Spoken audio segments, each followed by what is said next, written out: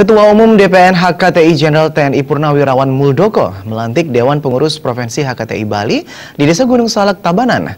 Dalam pelantikan tersebut, Muldoko mengkritisi derasnya alih fungsi lahan pertanian ke non-pertanian.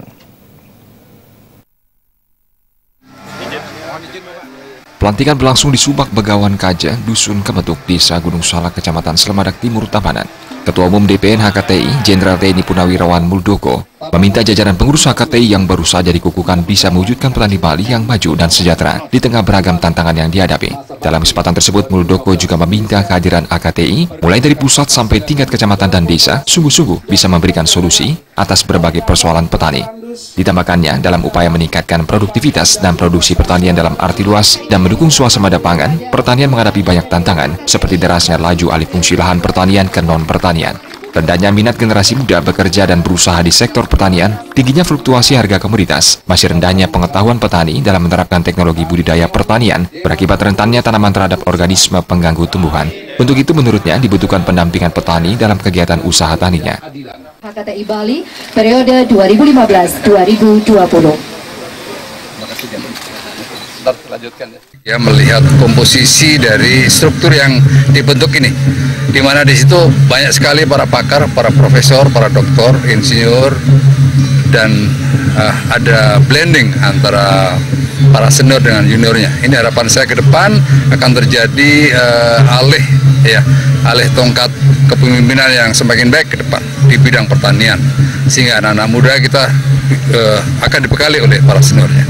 Yang kedua harapan saya adalah HKTI eh, Bali betul-betul atau sungguh-sungguh ya menjadi solusi bagi para petani. Kehadiran HKTI harus betul-betul menjadi solusi. Karena apa? Karena para petani kita di mana pun saat ini telah menghadapi berbagai persoalan.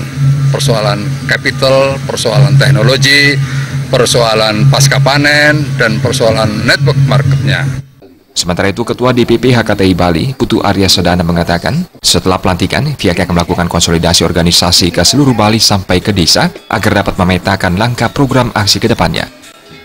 Dengan langkah-langkah yang dilakukan tadi, mendukung program pemerintah pusat dalam rangka kedaulatan pangan, mendukung program pemerintah Provinsi Bali, Bali Provinsi Organik, dan program yang baik selama ini. Program Simantri yang kami akan kembangkan. Kami kami telah membuat lima unit pabrik mini pupuk organik.